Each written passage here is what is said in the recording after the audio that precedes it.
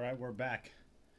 We are distracted by the lowrider that you fail to notice, the unusual little man lurking behind the car. He, however, doesn't fail to notice you. The little guy in the trench coat gives you a short head start and then follows you. Larry, be careful. This guy's up to no good.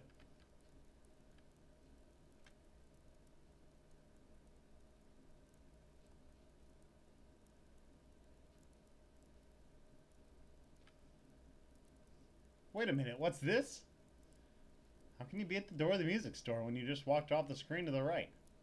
That must be someone who looks just like you. Something strange is going on here. Let's follow him into the music shop and see what we can learn. You! What are you doing back here? says the clerk, skipping the foreign language subtitles completely. You'd better get on with the mission before Dr. Nonookee prevents you from ever missioning again. What are you talking about, bitch? I've never seen you before in my entire life, says the dorky looking guy. Besides, you're not supposed to talk to me like that before we exchange our cute little secret phrases. What do you mean? she responds. You just walked out the other door over there. Not me, he exclaims. Hey, wait a minute. Don't tell me you gave the shit to someone else. Um, uh,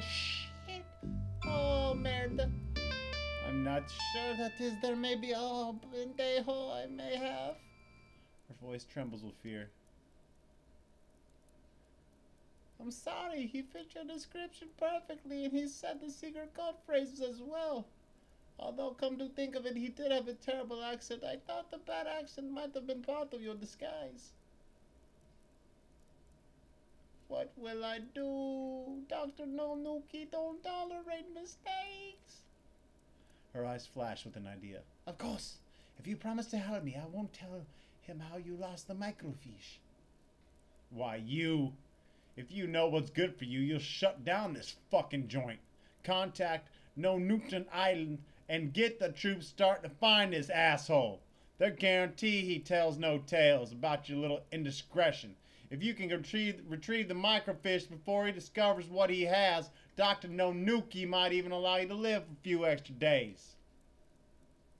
Dumb bitch. You're right, of course. You see, if you could follow him while I contact the island by radio telephone. Well, Larry, this is certainly another fine mess you've gotten us into. Not only is the KGB after you for grabbing what was supposed to be theirs, but Dr. Nonookee's beautiful army of henchettes, game show hostess, church secretaries, and bimbos is now hot on your tail.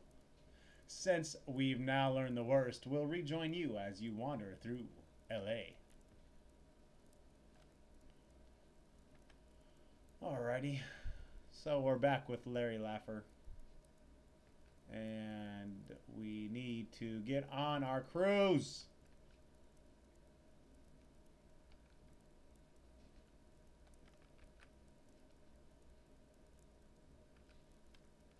All right. Here we are, the gigantic boat. Let's show them our ticket. Ah, you tell the purser. Here's my ticket and passport. Okay, you just made it. Let's take a look at your passport first. Whew, nice photo. Now let's see if your ticket is in order. Ah, geez, another freebie. When are these suits and marketing going to realize these boats don't sell on wind power anymore? Oops, I'm sorry, it's not your fault. Regaining his composure, he continues. Your cabin will be on deck F, cabin number one. That'll be all the way to below the decks and to the rear. This will give you an excellent opportunity to hear the subtle inflections of our diesels. You may enter now. And here we go, sailing away. Rank Pinhead. Feeling good about ourselves. Feeling so good. It looks like you just made it. The ship is almost ready to leave. Get your ass on the boat, Larry, before I punch you in the key.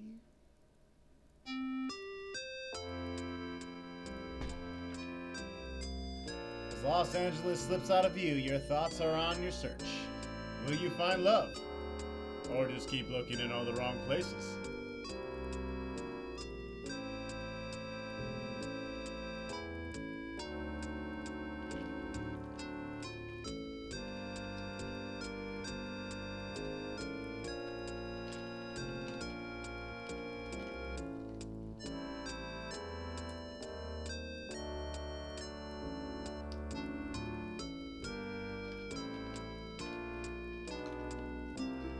Come on with the fucking music already. Shit.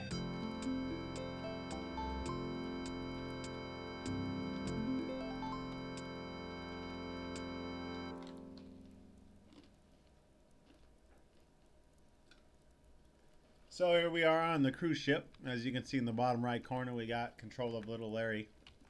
He's a little tiny white fucking speck.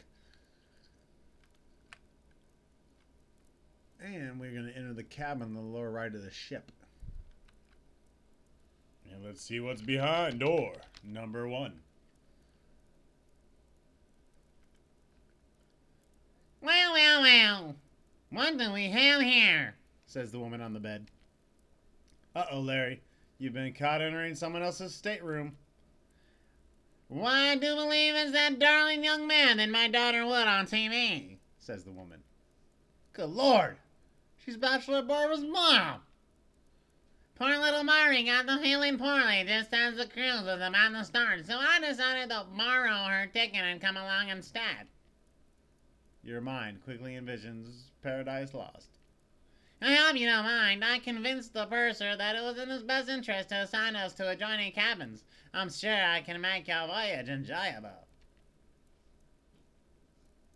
I really want to get to know you. After I saw you win the lottery show, I thought you were just about the cutest thing I've ever seen. Except for my mister, of course. May he rest in peace. He was a good man and usually quite sturdy, but one day hit a little hard, just couldn't take it anymore. You wonder why it is necessary for you to learn this. Honey, anytime you want to come over and see Mama, just feel free to pop on through that doorway, you hear? She attempts to give you a cute, girlish smile. She fails. Epic fails. Alright, so we're in the fucking room with Mom. That's great. She's not exactly a MILF, but uh, we can deal.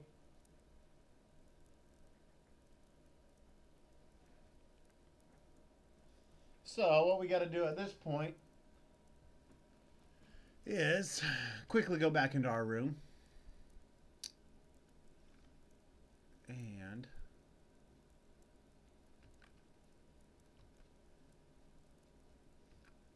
we there we go. We need mom to fucking leave.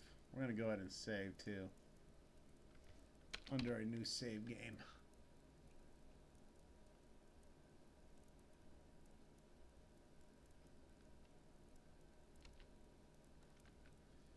And Say, look who's back, says Mom. It's my little friend from next door. Uh-oh, yep. I've been looking for a man like you ever since my mister had his big one. What do you say we have a little fun? You do like having fun, don't you? Uh, Hop over on that bed, baby. Whoa! Now you just get comfortable on those chromium chains and handcuffs while I slip into something a little more comfortable myself, she says, opening her closet. Let's see, possibly a little something in mink lined leather would be nice. Oh, shit. Whip, whip, whip. Larry's getting fucked up by the fucking dominatrix mama. And you can see why she's a widow. So that's not a good way to live. What you need to do is you need to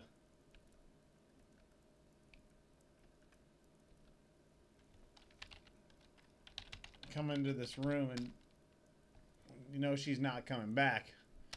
Open the drawer, look in the drawer, and you see a sewing kit, so get kit.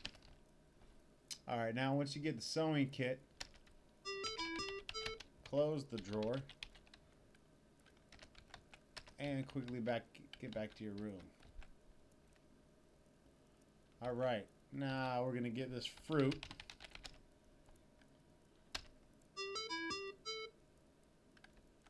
And stand behind the wardrobe. And we're to wear the suit. Alright, now we're looking fabulous. So fabulous we'll be back in the next segment.